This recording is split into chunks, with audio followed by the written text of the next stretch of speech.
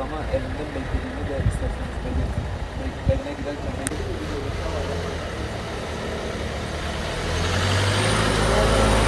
belirtin.